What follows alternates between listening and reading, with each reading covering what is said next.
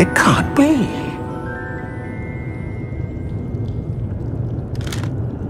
Uh, just a moment.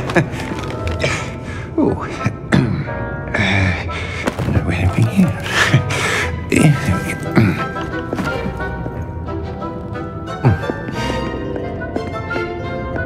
Welcome to Gringotts Wizarding Bank.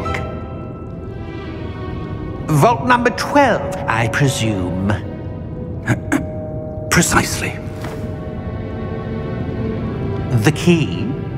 Hmm? Your wife's port key. Oh, yes, of course.